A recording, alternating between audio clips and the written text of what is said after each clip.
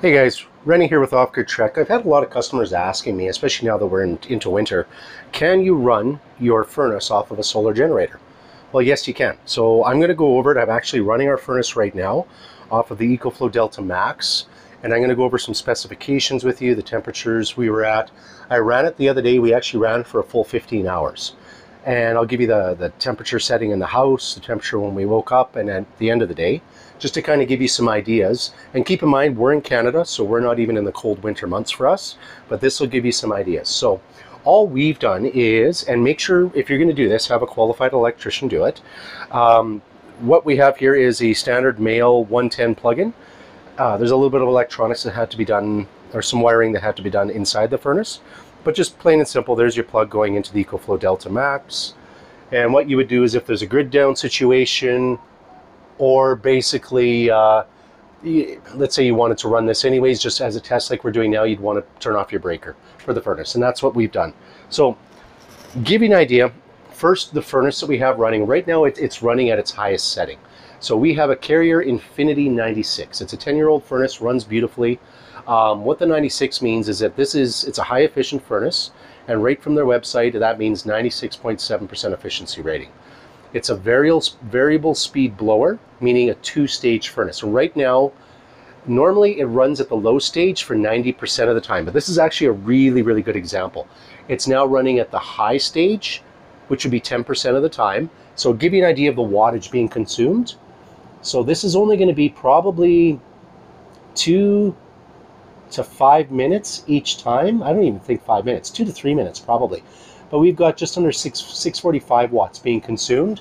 In the low stage, it's closer to 120 watts, and then obviously when the furnace isn't running, I didn't see any wattage being consumed, even though we have a Nest thermostat that we're running as well too, because that will consume a little bit as well. Now, to give you an idea, like I said, we ran this the other day for 15 hours.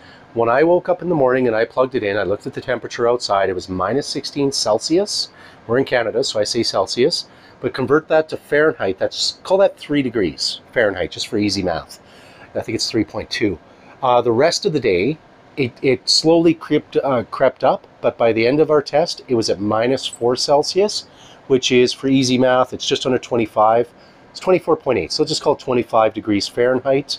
The house, now what we had that set to, uh, the internal temperature was set to 22.5 degrees Celsius, which is 72 and a half degrees Fahrenheit. Okay, here we go. This is good. Now you get to see, and I'll show you on the screen here, it's about to creep down.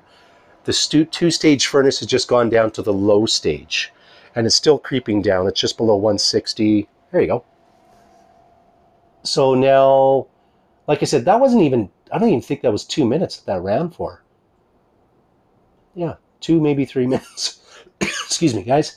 So yeah, we're just over 100 watts. Usually it's about 100 to 120 watts 90% of the time. So it really doesn't consume a lot of power. Now the main reason, like you can use a lot of solar generators. You just got to make sure that you're going to be able to go up to, let's say, well, it depends on your furnace, but minimum 700 watts. So when the, the two-stage motor is going, that the higher stage will be able to run it. So reason I really like this EcoFlow Delta Max here is first, it's only 48 pounds. Like it's next to nothing. Unless you've got a serious back injury, uh, anybody can lift it and move it around. So it's really, it's definitely portable and deployable. The other thing is, let's say you've got a rolling blackout situation or a grid down situation. This will be able to be powered from the wall from zero to 100% in less than two hours. That's phenomenal. Like that's that's amazing that it's that quick.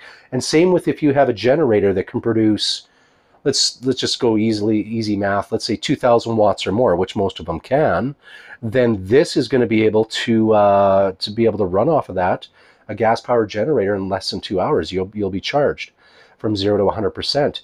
Uh, there is an optional it does, or not optional it comes with it. They have a cigarette lighter plug-in so you can actually run this from your vehicle it's only 120 watts so it would take a while uh, you would be looking at uh, just simple math call it oh shoot you'd be 18, 18 or so hours, something like that, 18, 19 hours as a guess. Uh, because this is the battery pack here. It's a 2016 watt hour battery. Here, another good example. So the furnace just cut out, and there we go. We're now down to zero watts being consumed. The Nest's thermostat, which is being powered by this, is prob because it's there's no batteries for that, so it's it's hardwired in. It doesn't even show a watt being drawn. So, but either way, yeah, that's kind of cool. You got to see all three stages. Um, the other reason I like the the EcoFlow Delta Max is you can add an additional two battery packs. So each of them are 2016 watt hours. So if you choose to, you could actually have this set up uh, with what is that 6,048 watt hour. So that's that's a lot of watt hour. And and the if you're in the US and you're in a warmer climate than where we are, well then theoretically you should be able to run your house for it could even be double that amount of time based on your temperature. Oh, and by the way, the square footage of this house, it, it's it's a smaller house. It's 1,200 square foot up, 12 down. So it's not a huge house. Bought the house for the yard, not the house even though it is a good house. But either way, they don't make yards like this one has anymore. And then to me, that's more important than anything.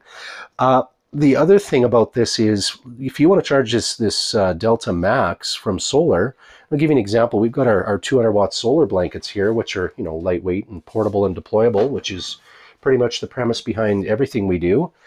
Three of those combined in series will easily charge this guy up in, let's say, three to four hours in perfect sunlight. We will be doing a video, not to go on a segue here, but in the next little while, I've got 4,000 watts of our solar blankets going on the roof of the garage, and we will be doing a video. I'm creating five charging stations, two 800 watt charging stations, one 1600 watt, and two 400 watt charging stations. So we will be able to power five solar generators simultaneously. Uh, I, yeah, just to do it, because what if things get worse in these wonderful, interesting times. I want to be able to provide power not only to run my furnace, because winter's here and I'm in Canada, and we're not even in, in, in the cold temperatures yet. Uh, I want to be able to also power the fridges, the freezers, all of that. So, like I did have also, just to be on the safe side, we did um, have it wired in, and so we can run a tri-fuel generator, even run off the the pro or the natural gas line. But at the end of the day, if things get really interesting out there, you don't want people to hear a generator running. It just, well, that's my way of thinking. It, it just wouldn't make sense. You wouldn't want to draw attention to yourself. And then the solar blankets that we're, out, we're adding to the roof, they're actually designed to blend in with the black shingles we have. So again, specific, not to uh, to draw attention. And these aren't something you can ask about them, but we're not going to be selling them right away. I'm being the test pilot for these. And if they work as well as I expect, uh, based on efficiency ratings, uh, being they're going to be even more efficient than, than what we're offering now. Uh, and we still have a supply chain. They will be added to our website here uh, coming this spring. So let's just cross our fingers. We still have a supply chain with everything going on. But yeah, no, this is um, this just gives an example. And keep in mind, this is only one solar generator. You'd be able to run this furnace with the Inergy Flex, with uh, the Bluetti AC200, with the um, the Lion Safari, and that, that can come with two battery packs as well. With uh, even some of the smaller solar generators, I don't see why you couldn't, because let's let's use the EcoFlow River Pro as an example. It's 600 watts, and then I believe it's 1800 watts surge for their three plugins. So theoretically, you should be able to run that. Actually, I'll do a test on that and see if if that will work. Do that another day as well, just to see. But yeah, no, I just wanted to, to show you guys this. Lots of people have asked, can you run your furnace off of a solar generator? Yes. And just to mention this real quick, I've talked to a lot of oil and gas people about this. Um, natural gas. So let's say electricity goes out. Natural gas, because these are on, there's remote pumping stations that are either running these off of, um, I think it's a combination. The solar's probably for the electronics. Most of them are propane even if things get ugly, natural gas will still flow unless somebody destroys the lines for a good two to three months. They're still going to flow. We're still going to have natural gas in the city, so that's not a problem with that. But yeah, no, uh, definitely, guys. Um, by the way, it's Thanksgiving weekend, U.S. Thanksgiving weekend. Happy Thanksgiving to all of you. We had ours earlier. Uh, we're going to, in support of all of our American customers, we're going to have a turkey tomorrow just to support you, because that's we we we care that much and I like turkey. But either way, we're going to be doing that as well.